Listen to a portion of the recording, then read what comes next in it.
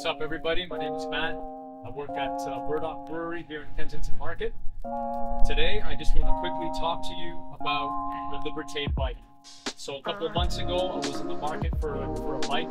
Um, connected with Alvin from XFIXXI Bikes and purchased this amazing bike. So I ride about 10 kilometers a day. I needed something that was going to be very lightweight, fast, and sturdy.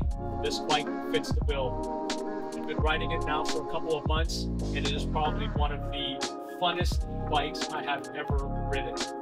For those of you who are in the market for a bike, definitely got to check out Alvin and XFIXXI Bikes. You've got to check out this Liberté. You'll not be disappointed.